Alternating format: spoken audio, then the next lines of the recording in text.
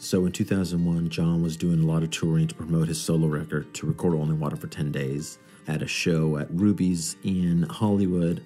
I met um, a guy who was here on vacation named Ignacio Renecio. He was here from Spain. He worked at a TV station in Spain and he wanted to do an interview with John, so wanted to know what the best approach would be. I said he should probably speak to John's manager, Louis, who just happened to be outside the venue. So he went over, talked to him, exchanged emails come back. He and I exchanged emails as well.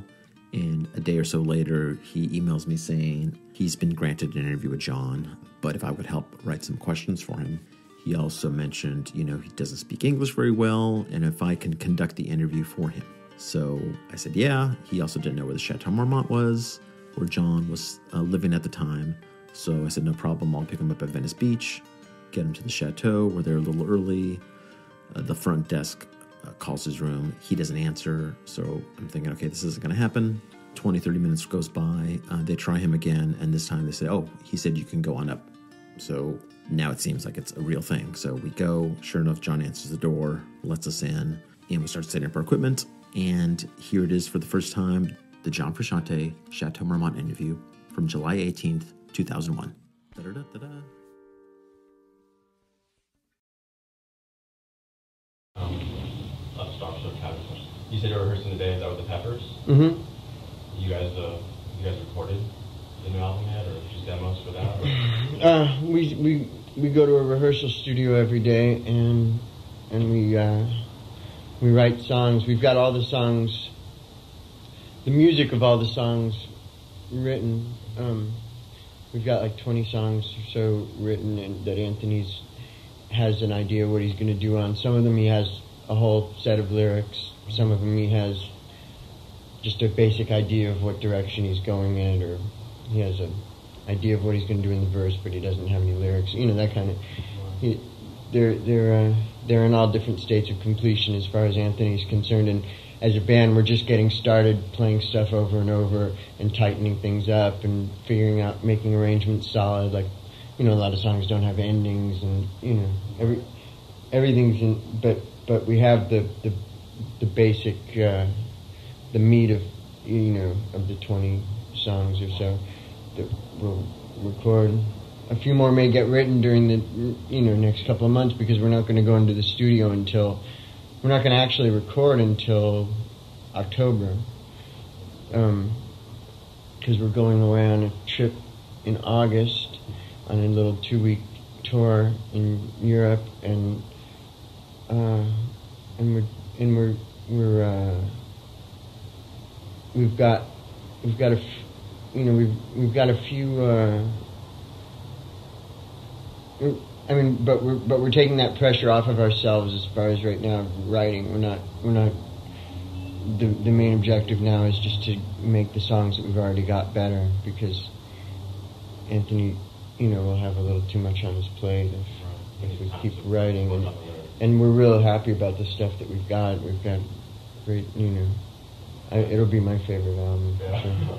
Is uh, are you guys working with Rick Rubin? Uh huh. I'm gonna ask you some old questions too that people always want to know, like how you and Bob Forrest first met up and stuff like that. Okay. How did you guys? How did you meet Bob Forrest and come across the Belongings?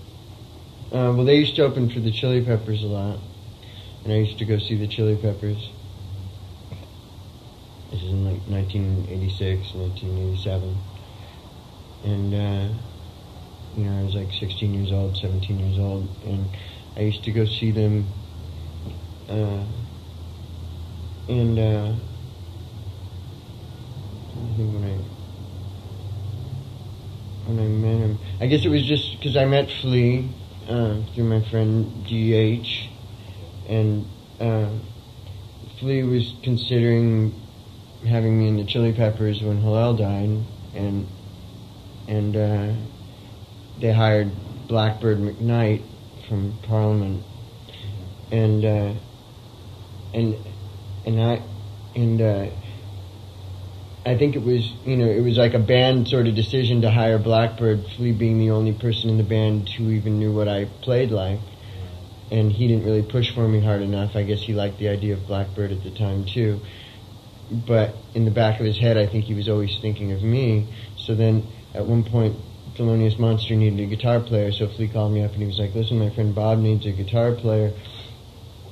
Um, I feel kind of funny about letting you go do it because I, you know, I, I guess I, I shouldn't, but you know, I, but but uh, but I, I keep imagining, you know, you being the Chili Peppers, but you know, whatever. I mean, he, he's like, I don't know if it's going to work out with Blackbird, but I guess you know we're not going to fire him right now, so I guess I'll, you know, I'm going to give you Bob's number and so I was really like, uh, and and Flea said it to Bob too. He was like, "Well, Bob, I've got first dibs on this guy." and and so, uh, yeah, and and so uh, so so you know, I auditioned for them that day, and that was when I met Bob, and you know. That's you know that's sort of the end of the story. I mean, because I went there and you know from from there, Anthony was at the audition that I did for Bob, so I. I, I was only in Thelonious Monster for a few hours before the Chili Peppers decided to kick Blackbird out and hire me. Oh, really? So it was just a few hours? Yeah. I thought you were playing with Thelonious for a while. Well, I did play for a couple of weeks. I played the shows that they had scheduled, you Oh, know. okay. Like they, they had, uh, Cal State, uh, LA, or Cal State Fullerton.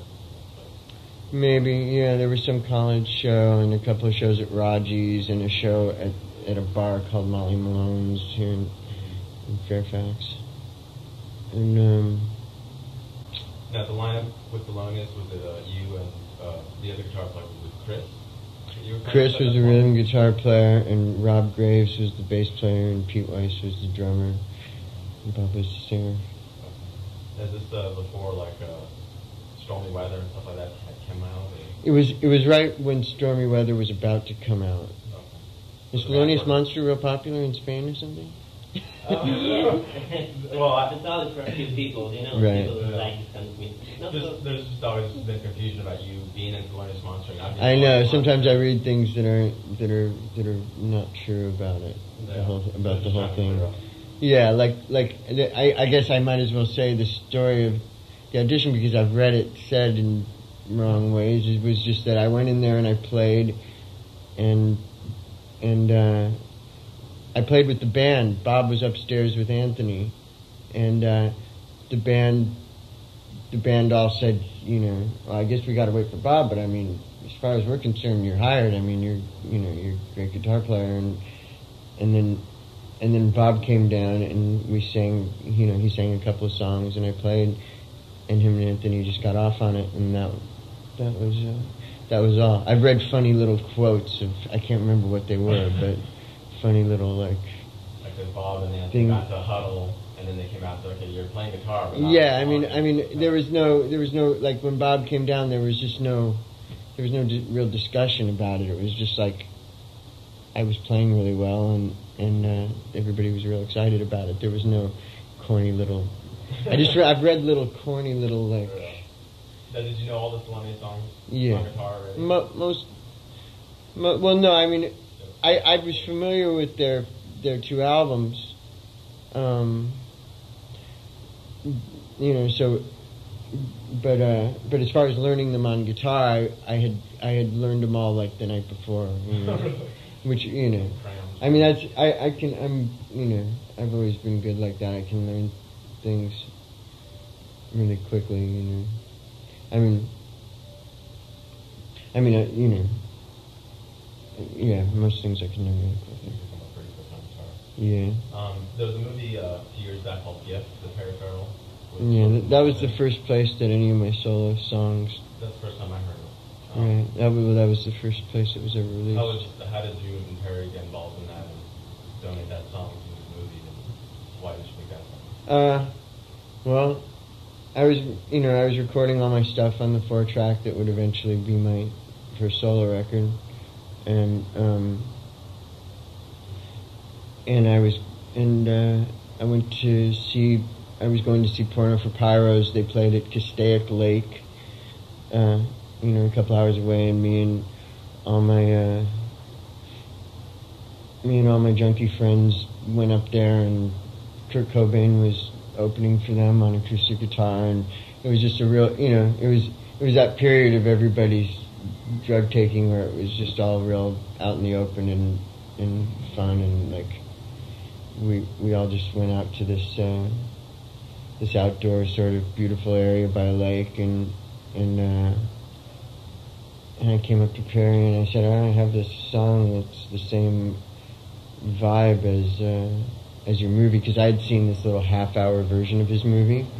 Um, it was like an advanced videotape they were giving to people at Warner Brothers so they could get more money to finish the movie, Right.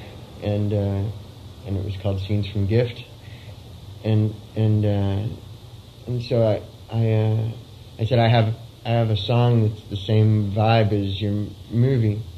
Um, I I uh, do you need any more music for your movie? They came way early, so I decided to just do it So. So so they so so I said uh, so I said I have a song that's the same vibe as your movie.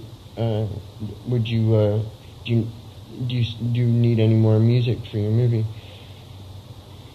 And he said uh, and he said, well, I'll tell you what. Uh, we're editing on Wednesday at at uh, such and such place on Santa Monica Boulevard, and uh, and there's I, I think you know I think we, we have a space for, for your song. So it was pretty much as simple as that. I I I, sh- I showed up at the place on Wednesday with a tape with a cassette tape of my song, and uh, and it and it synced up perfectly with the movie. It synced up even more perfectly than what you see in the movie. Even though in the movie you see there's when the voice comes in going woo, it cuts to the ants at the exact time and stuff. There was a bunch of stuff like that that that I think got changed around and somewhere in the process by somebody who wasn't paying attention to to the synchronization that was going on. Mm-hmm.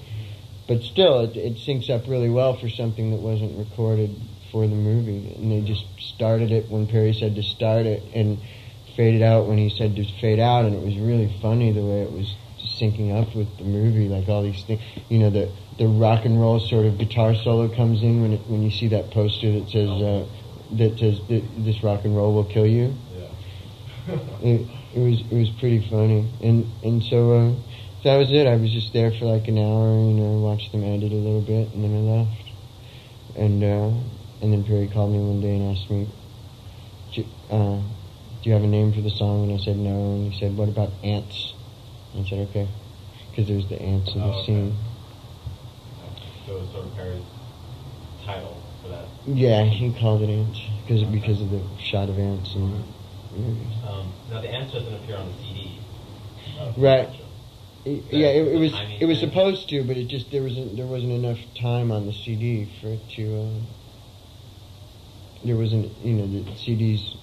That CD was as long as you could make a CD at that time, so I had to take off a few of the things that I wanted to put on it. One of which was the song "Smile from the Streets You Hold." Uh, was originally on the CD.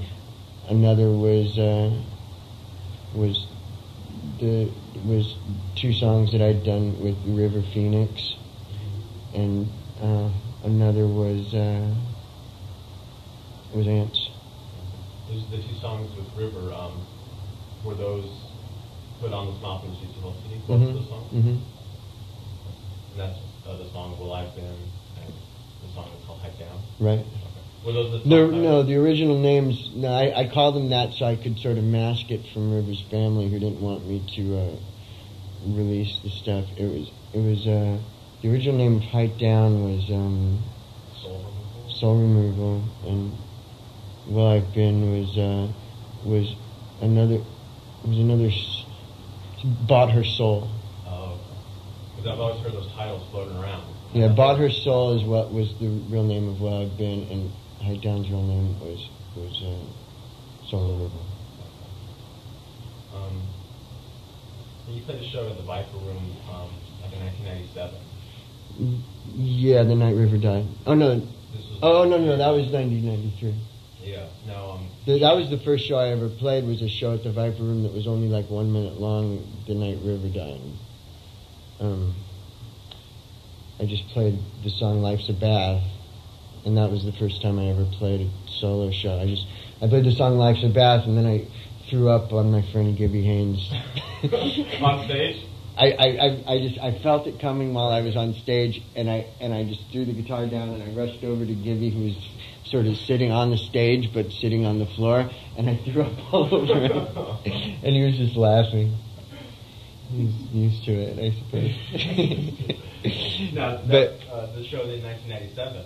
yeah, the show in 1997 was uh, was not one of my favorite shows I've ever done. No, I I really didn't have any business playing a show at that point just because I wasn't I wasn't uh, I think I was only playing a show because I had recently gotten off of heroin and so I I didn't I just wanted to sort of do something just for the sake of doing something or to, you know just it, I wouldn't really call it creative. It was more just to get like some sort of attention from people or some sort of ego gratification of playing a show you know?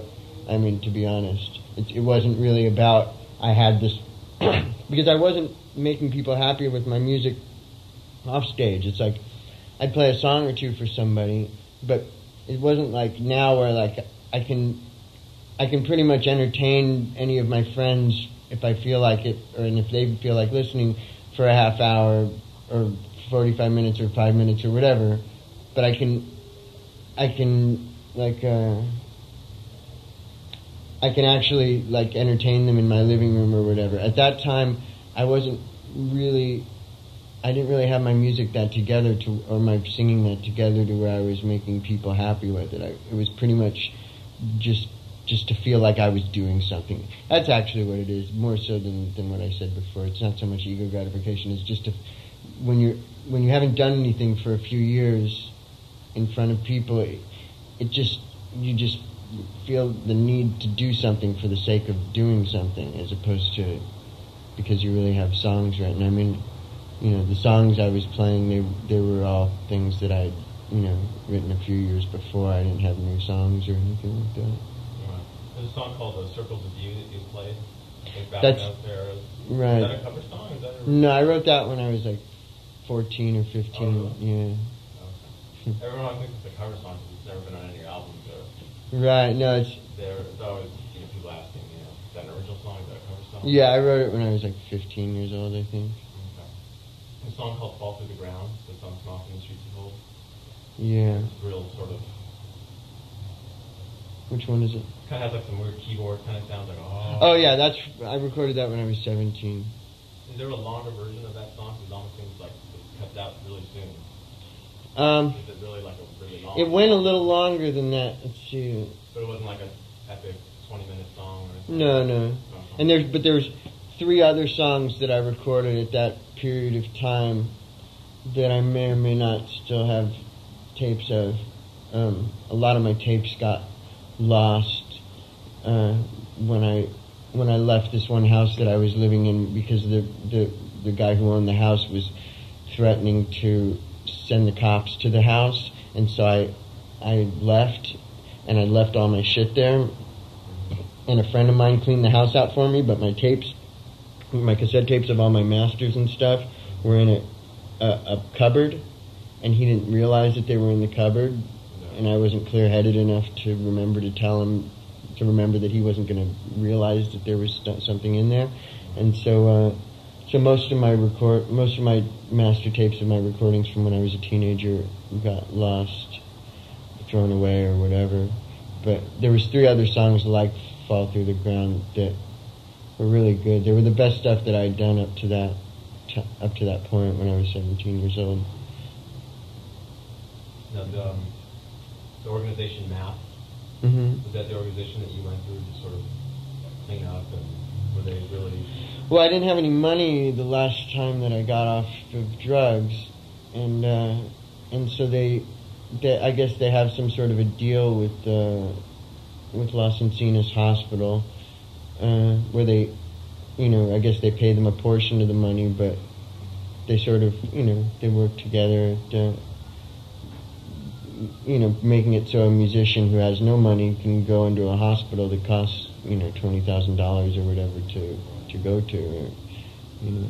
I didn't have any money at that time, so they arranged it to where I could go in the hospital. And um, was it a long battle trying to get off of it and going back on drugs and back and forth, or was it just one time you were able to stop and get help? And Um, I don't know. I guess you know you you, you really can't. It.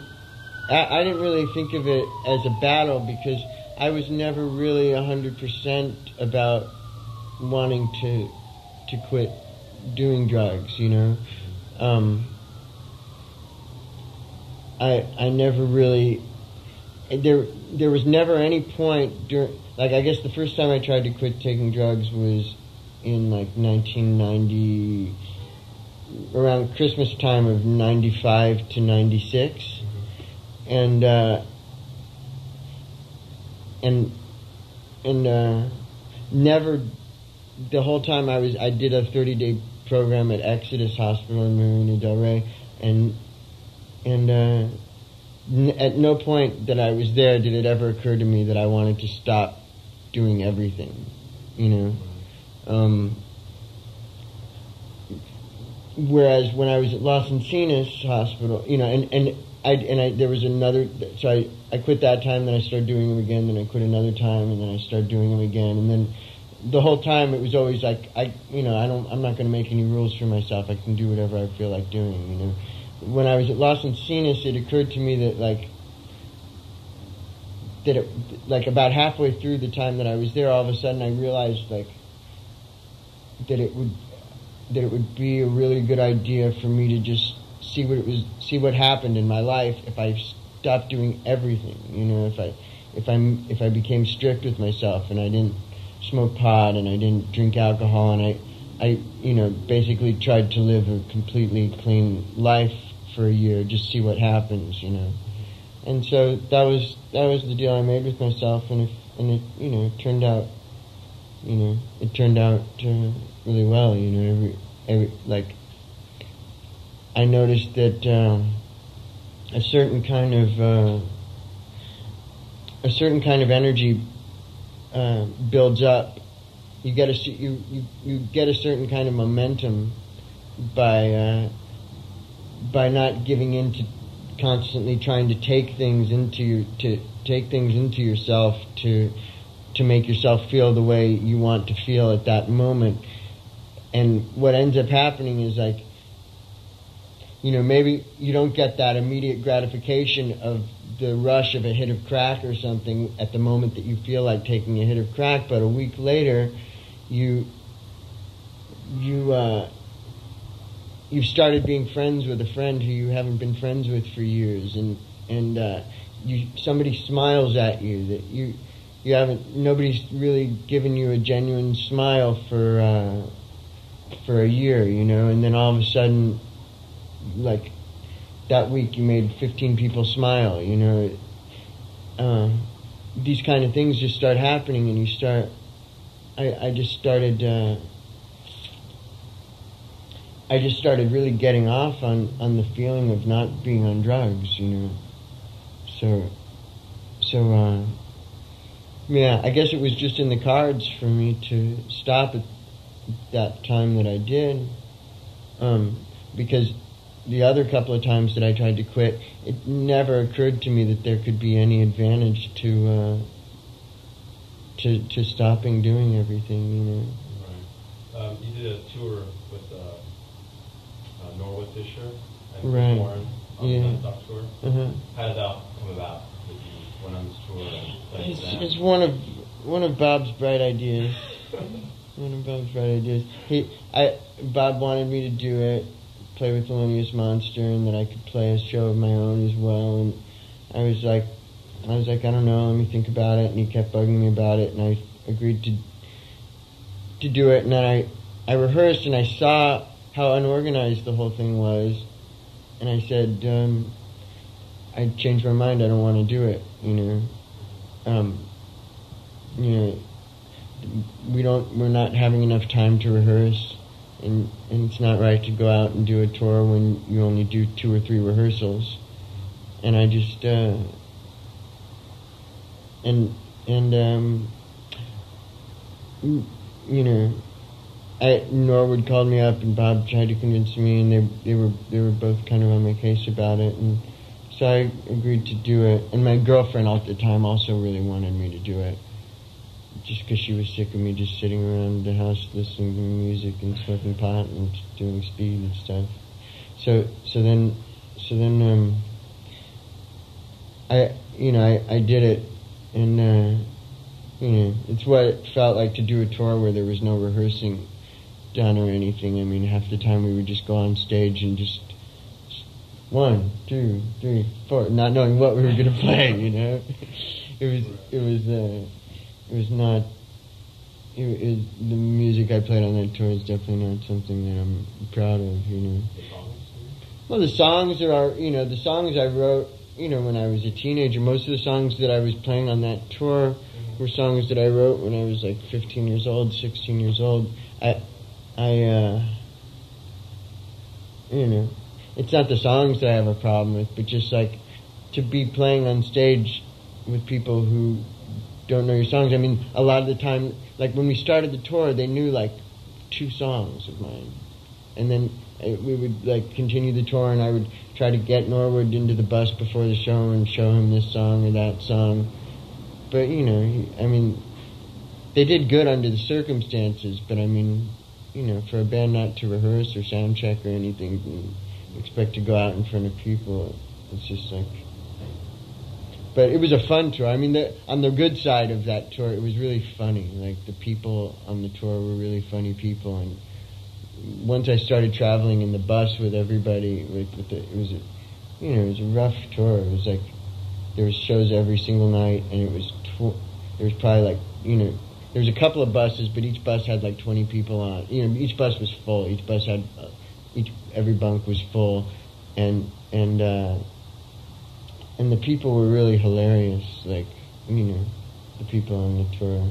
Like I used to just sit in the back with uh, with Dirty Walt from Fishbone and watch like movies of porno movies with midgets and stuff. You know, porno movies with like little men fucking a little midget woman and you know like oh god he used to just sit there watching and stuff or you know you know listening to his fucking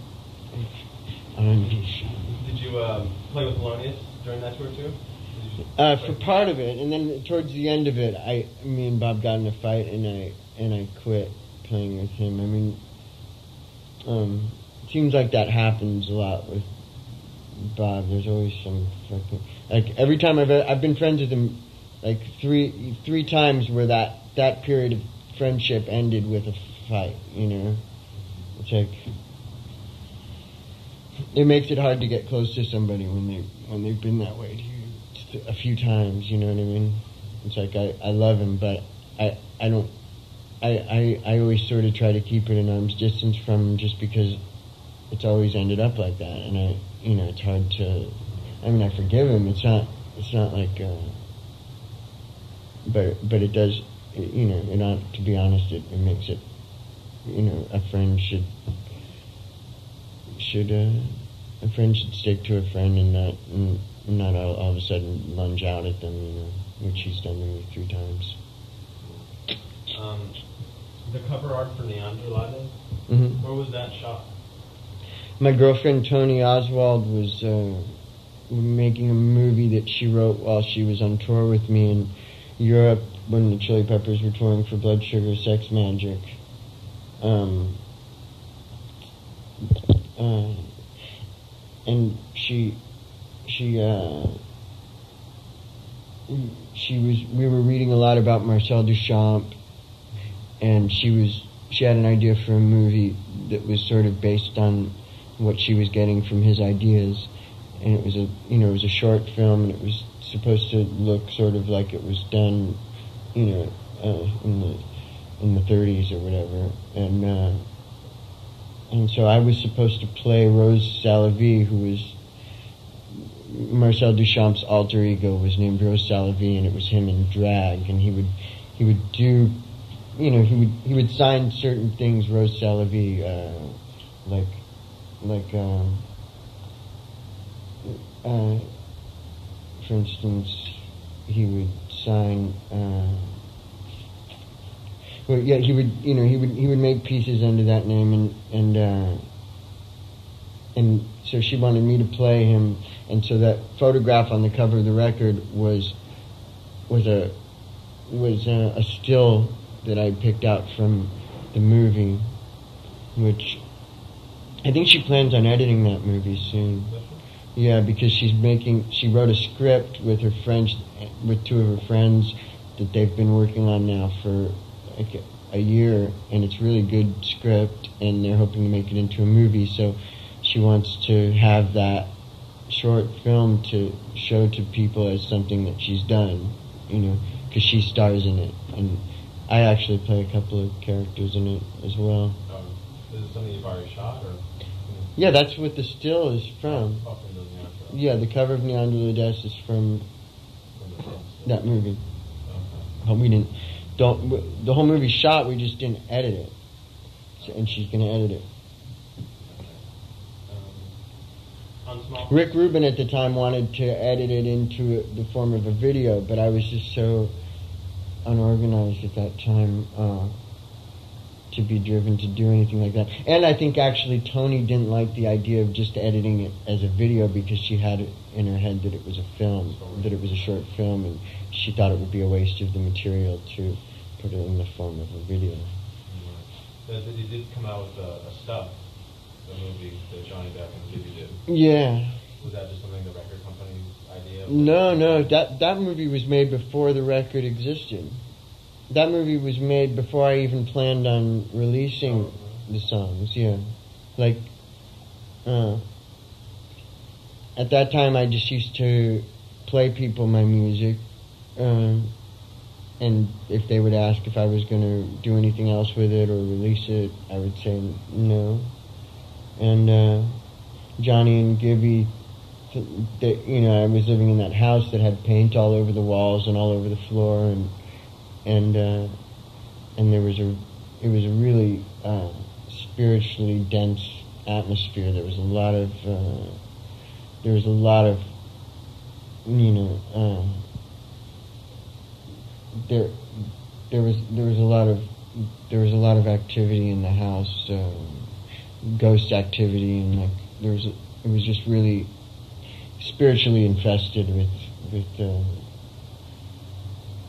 with unex- inexplicable kind of things, you know, it, and uh, a lot of movement, you know, coming from nowhere. There, it wasn't a still house at all. There was a lot of movement all the time in the house. So, uh, so you know, they they wanted to film it. That you know, I think it was. Uh, I liked the film lot, but it, you know, they they picked what songs that they wanted to use of the songs that I had played them, and Gibby asked me to recite some poetry from one of my notebooks into a little tape recorder, so that's also in there. Okay. So that was never part of the song? The No, no, that's that's uh, that was just something that, that they want they wanted to have me reading poetry in it, so I, so I just opened up one of my notebooks and read it into a little piece of tape recorder, and they they put it over the music that way that, it is. Um, there's a few songs on Smile from the Streets you hold that um, were set to be recorded straight onto an audio cassette recorder. Yeah, songs that weren't that's true. Yeah. And there's been a lot of debate as to which songs those songs are. Uh, um, this, they're the ones where I'm screaming, and and uh, to me, sound quality wise, it's real obvious. It's the last song for sure is one, Right, and the other two, I, I'm not sure exactly what numbers. right. They There's are. called uh, I Can't See Until I See Your Eyes. Was that one of them? I think so. Yeah, And then a song called More. Was that another one? I think so. You're probably right. I mean, I, I don't probably. Because everyone's, you know, oh no, it's this song, no, it's this song. Yeah, no, I can't see until I see your eyes is definitely one. More, I think, is one. I mean, I'm the titles for that album were really arbitrary. I, I didn't have, you know, I, I didn't have titles, so, and I- and I just wrote them real quick at it at a at a point in time when I was so disconnected from the music itself. That's why a lot of the time I, you know, when when people tell me these titles, they seem so unrelated to where the song came from. Because at the time that I wrote the titles, I couldn't have written a song to save my life. You know. So the titles on Smile from the Streets You Hold were just sort The- of picked at the last minute. Yeah. But Just because they needed titles, yeah. why didn't they go with the uh, untitled type of uh, format? He would have. He just was doing whatever I told him to do, and I suppose I just thought it, I should make titles, you know. I mean, the David Kent Nelson? yeah, yeah. I mean, it, you know, they're. Uh, I mean, but the songs on, on, on uh, usually just a T-shirt. The reason they were untitled wasn't because I couldn't think of titles for the songs at, because at that time I was still sort of in that same artistic place as I had been when I wrote the songs, even though I was painting at that time instead of doing music. But but I was still very at the time that I put together the the package for Niandra LaDes, I was I had stopped. I pretty much stopped playing music, and I was mostly spending all my time painting and drawing. But I was still very much in the same sort of artistic realm, you know, and and uh, the uh, the the reason that the songs that half the songs on that album were entitled was because I didn't want titles to uh, interfere with with the uh, with the fact that all of those songs were usually just a T-shirt. Like I think of them not so much as untitled one, untitled two, but usually just a T-shirt number one, usually just a T-shirt number two, usually just a T-shirt number three. You know, like like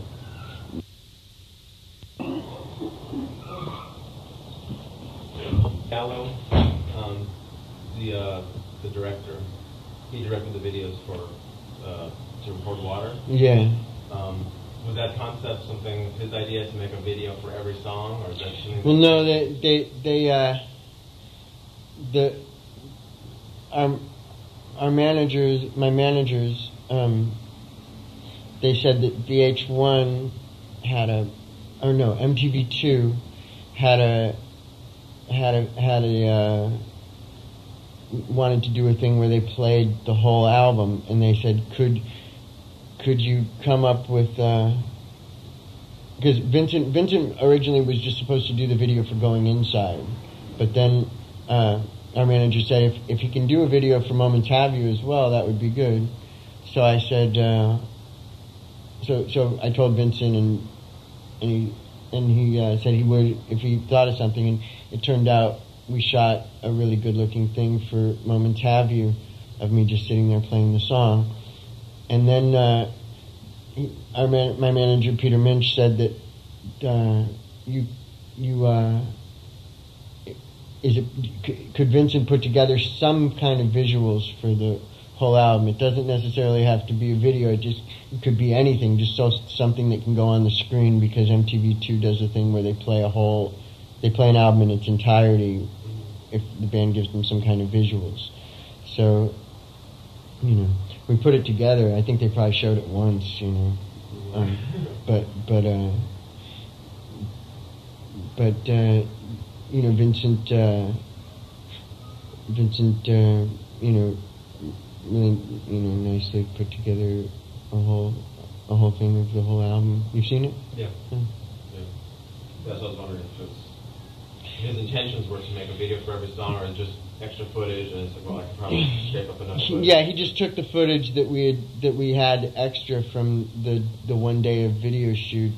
You know that the going inside video took one day, and moments have you we did the night before, and and uh, and that you know that was the whole. Uh, he he just took stuff from from that footage to make a little miniature video for every song. Most of them are just loops, you know Right. you know, and and uh, it was just so so MTV2 could have something to to show. Okay. Is Um, something you ever, the company, the Warner Brothers, would release? Uh, I seriously doubt it, but but um, but you know, but I would. I mean, you know, I mean, if I if I ever gotten into that sort of thing, but um, but you know. I know I know a lot of people at the record company feel bad that people didn't really get to see the videos uh, for the record. So, you know, I don't know what what'll be done. You know, I mean, I think stuff like that should be sold through the guy who runs the my website. You know, I mean, Right. that would be good. I mean, I I think you know, I think people should be able to buy that thing that Vincent made. And Vincent does too. I mean, Vince, you know, it's something Vincent's really proud of. Yeah. Yeah, Um, something a lot of the fans, you know, didn't get to see, I know. that want to see. I know. I, I think we should probably make it available through the internet. You know, I just haven't been in communication with that guy who runs the website. He's so nice that he's kind of he doesn't he doesn't force himself on me, and and I just I just don't really have my mind there. But if but you know, if I was hearing from him or whatever, I would I would uh, I would try to make it you know to make yeah to just to make that available to make my my other four track stuff from the last few years available. Yeah. Yeah, because you said that there was two other CDs that you came out with before to record Water. Yeah, two two CDs worth of stuff that that just my friends that I gave just to my friends, and I guess none of those friends are uh, you know took it upon themselves to to to make it available to people over the internet because they're all very close friends. They're not you know Right. and Would you feel bad if people were listening to it? Because I know there's some songs that were released on the internet. So Yeah, yeah, yeah. That's the first ones that I did. Those came from a cassette, though. Those weren't. That that wasn't stuff that I burned to a CD, so, and so they're worse sound quality. Um, right. No one's on the internet.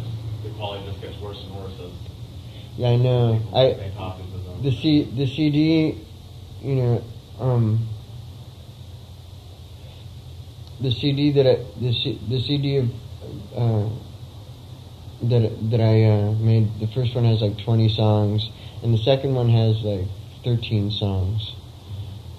And and uh, and I'm definitely gonna make them available through the internet. You know, I guess at one point I was imagining. I guess the, the thing is, a lot of the stuff on the first one might end up in the Vincent Gallo movie that I'm doing the soundtrack for, which is which uh, which will which will be done at some point after the Chili Peppers record. Okay. This movie called Brown Bunny. Mm-hmm.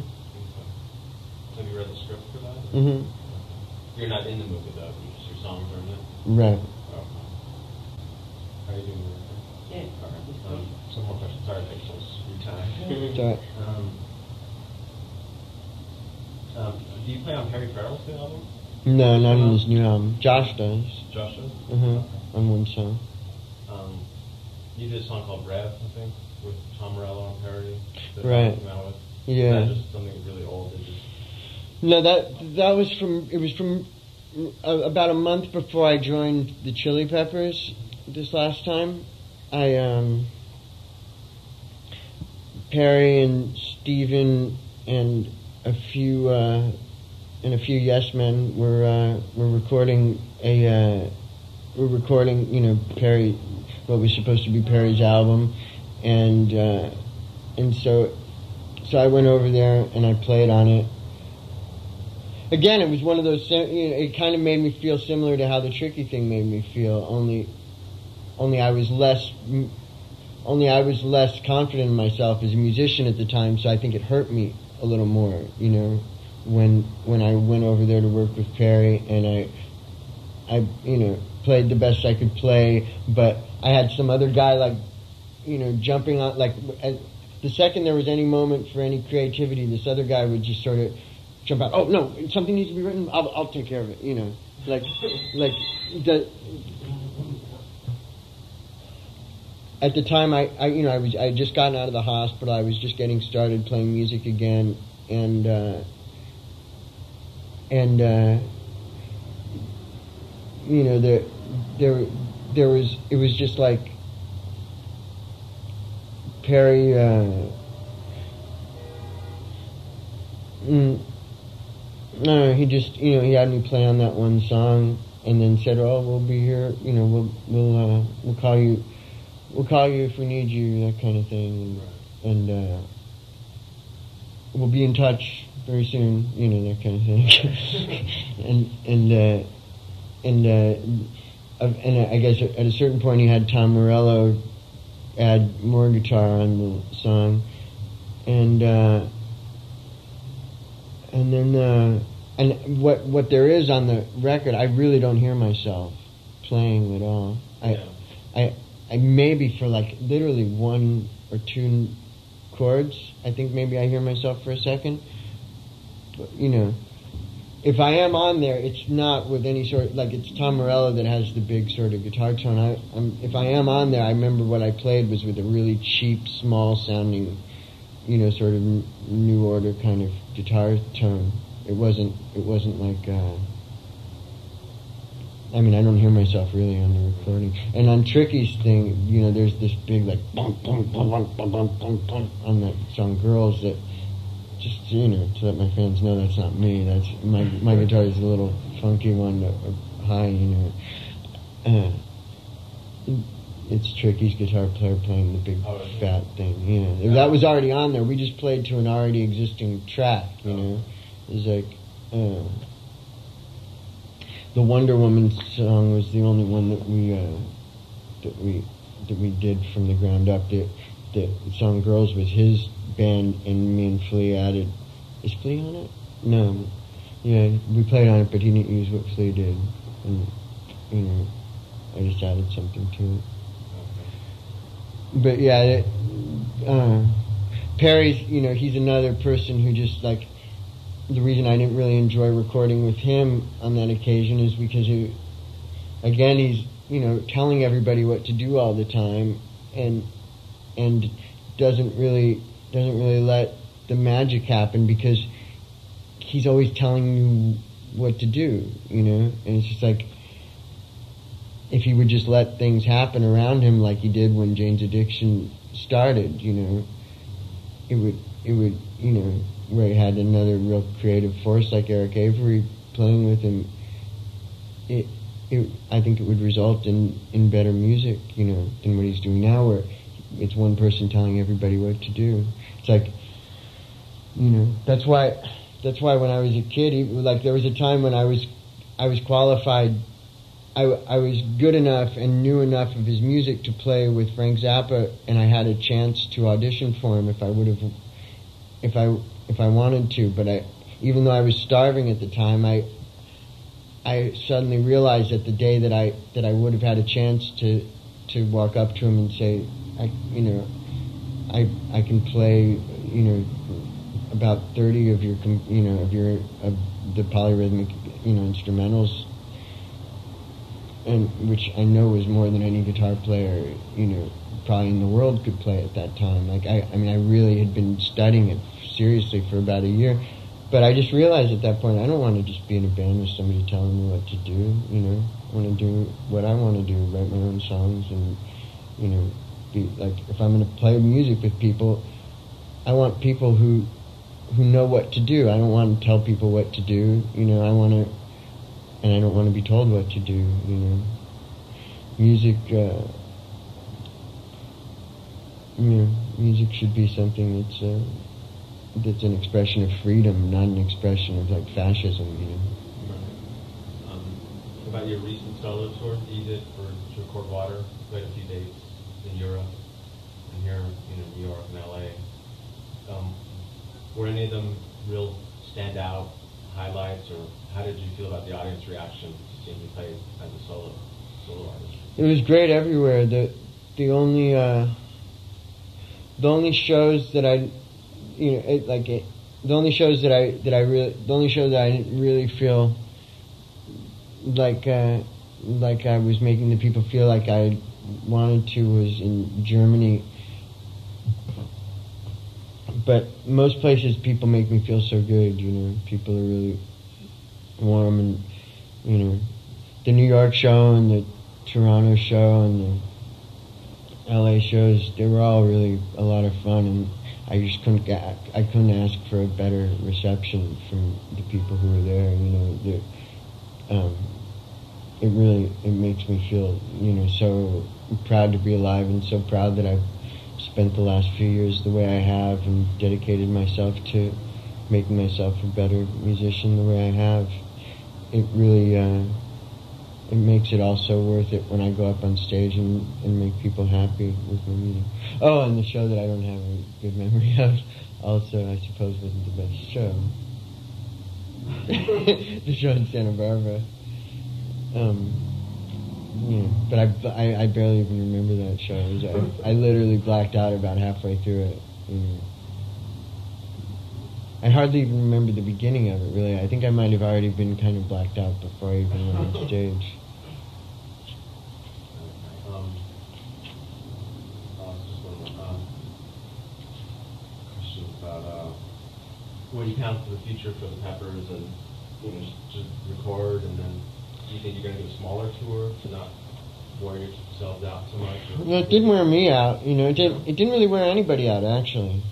Yeah. It, um, just seemed like such a long tour. It was long. Yeah, I mean, I'm sure it won't be. Well, the the good thing about now is, uh, you know, assuming, you know, God willing that, you know, we we make the record when we're planning on making it. At the time that that uh, that we released Californication, as our managers explained to me, we were building a audience from scratch because their last album had been a few years before and it hadn't been very successful. So we were sort of starting fresh, you know. Um, and now we've we've it's not that same situation like with Californication. The first few months of touring that we did was to set up the album. We did a tour high, you know, for high school students. We did tour promotional tours in Europe for radio, you know, there was a, there was a lot of setup to the whole thing, which when we release this album, we'll be able to just go straight into touring arenas again the way we that we've been. So, you know, the tour will be shorter, I think, just because of that alone. But then, but then also, you know, it's because we've already got our audience. You know, um, at that time, if we would have started playing shows right off the bat, they would have been smaller shows. So that's why we made you know, we made it worthwhile by by playing, doing more promotional type tours to begin with. Yeah. So, you know, I I'm. Uh, but you know, Flea does want to make sure that he spends a certain amount of time with Clara, but at the same time, you know, uh, this, you know, he feels like this is this is his job. This is what he does. So he, you know, he he still plans on going out and touring. I mean, he was he he reached a low point in the middle of the last tour, like around January of nine. I mean of of uh, 2000, but uh, he got stronger and stronger as the tour went on, especially the last six months in America. Flea felt stronger at the end of it than he did at the beginning of it, and uh, and the same with me, and the same with uh, you know, same with everybody except Chad because he doesn't, uh, you know, he doesn't take care of himself. You know? but still, he held up. Actually, at the end, he was really good. His down point was maybe like halfway through the American tour. He started like having a little too many late nights with Taylor. Yeah. Did you and Dave Grohl ever jam any old, you know, Nirvana songs or No. around during? Or He can't. No, I think you know. He maybe he came on stage with us a couple of times to uh, play the punk rock part at the end of P and maybe jam a little bit, or, or they, you know, they would come on stage and, um, like at that that last the last show, a gag, huh? like a gag kind of thing. Yeah, yeah. They came on stage and were like jumping all over everybody and stuff. They were funny, They were spaghetti on Chad. huh? Did they throw like spaghetti on Chad? Yeah, they were having all their pranks like that. Did you guys pull any good ones on them? Then? Oh no, it wasn't us. You know, it was Chad, and his pranks weren't as good as theirs. You know, Oh, okay. he put their. I think he. Did, what did he do? He put their. He put their lighting guy on the last night. He made it impossible for them to play. He like put their lighting guy. He locked their lighting guy into a box and put the box in the middle of the stage, and you know, it was uh, not something that we had any that the other the rest of us had anything to do with. It was all Chad. What's the new vibe on the on the new Peppers album? Like, what artists are inspiring you on this album? Mm, well, for me, uh, for me, I I think uh, some of my, I mean, I mean some some of it is is a continuation of of the sort of uh, of the sort of things that I was inspired by for the last record, like Matthew Ashman from Bow Wow Wow and and uh, and you know, Bernard Sumner from Joy Division and, and New Order, but um, but some uh, some of the stuff that I I'm I'm also now because I'm because I've because I my skill has gotten better as a guitar player between the last album and now is uh, I've gotten much more into chords and uh, and the the kind of textural guitar playing of of uh, like Johnny Marr and uh, John McGeoch from Siouxsie and the Banshees and um, and John Carruthers from from uh, Siouxsie and the Banshees.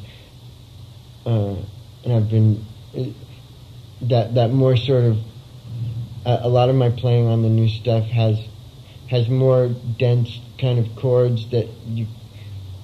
It's less obvious what's going on. Like uh, it sounds, th- there's more. Uh, it's a more kind of a wet sound now, and and I think it would be. It's the kind of stuff that would be like, it would be really hard for somebody to learn how to play because the chord. There's so many strange chords in the stuff that I'm playing now, but I mean, you know, the feeling of it is, is, is a more vibrant version of the same feeling. I, I, I hear a more a, a bigger energy in this stuff than is on Californication. There's more, some of it's more rock and roll because there's also the 50s music is sort of in, inspiring, has been inspiring me a lot in the last few months too. So that's in some of the music, as well as there's a, some glam influence in some of the music, and there, there's there's he- there's more heavy, like there's more fast stuff and there's more heavy stuff than there was before, and uh, yeah, and there's there's you know as far as like as far as the guitar playing, I just I'm definitely even though I was listening to to like the Smiths when we were making the last record, I couldn't make heads or tails of what Johnny Marr was doing on the guitar, and now I I can learn his stuff, and I've I've I've gotten better at, at understanding uh, at getting inside of his style. So it's affected my guitar playing in a in a way that that uh, I the the those chords sort of sound like they're coming out of thin air more so than than that every chord is just the one thing that it means. There's there's more. It's more opened up and has like uh, more of nature in it or something. I I'm really happy about um, finding new ways of expressing, you know, of expressing these feelings. You know, um, you know, I hope. Uh, I hope my playing can constantly change. For a while, I was going through a, through a, through an Eddie Van Halen phase during the, the making of this record. So I, I was going to rehearsal and playing real uh, fast a lot and stuff. And now I'm back to playing real simple again. But it was a good little phase for me to go through. Um, uh, it, you know, it was it was a lot of fun for a couple of months there. But but uh, you know, you might get a second or two of that on the album, but but it'll it'll it'll probably be mostly you know playing my solos like I'm a retard again. I, I, I you know I, I to me I I, I like uh, I like it when each note really means something, and I don't like it when it's the group of notes that means something, which is what you normally have with somebody like Eddie Van Halen. And, and when I say Eddie Van Halen, I'm talking about the first, you know, the Van Halen albums with David Lee Roth on them, and and uh, you know, it when it's the group, like I, I just feel like it's I just feel like it's my sort of uh, responsibility to uh, to play things where where each note means something as opposed to a, a, cluster of notes meaning something. I mean, or a group of notes strung together means. Um, it's mostly what I find it exciting and what I find challenging and stuff. And I know that like playing fast and stuff, it it it uh, it's a it's a sort of a dead end, you know, and so that's why I can't really let myself get too far into it, you know. But you're still technically capable, capable of, of it, yeah.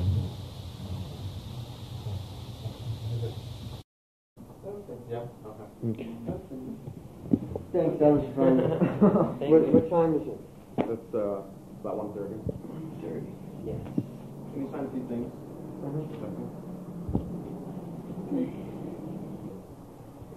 It's a prototype. Um, I saw her play the uh, an extra copy of that, which is. I was thinking about it when I was talking to you. I do have a copy of it. You know, I mean, I, I, I could give you this one and then. You want me to send it back to you? No, I could give you this one and. Oh yeah, you can burn a. Can you burn a CD of it and give it back to me? Yeah. Because I, I. Is this the one that has the uh, the twenty size or Yeah. something? Uh-huh. Yep. Will you? Sure. Burn it and send it to him? I promise. I promise. I, I've, I've into this before and sent him some pictures, like the things that he did, to put on his website. I live here in LA, so. Is this what you're talking to? Uh, I, I could play.